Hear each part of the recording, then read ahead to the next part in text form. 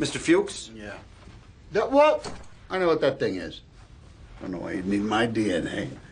I was being held there against my will. There's witnesses and evidence at the scene that say otherwise, Mr. Fuches. No. You got a court order to take my DNA? Oh, oh, you think I'm going to give it to you voluntarily?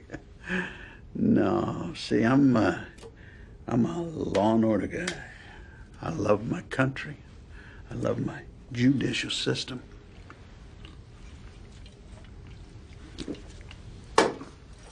Thank you. So what I remember is there's only two other guys in that hotel room, and they're both dead. So you ain't got shit, pal.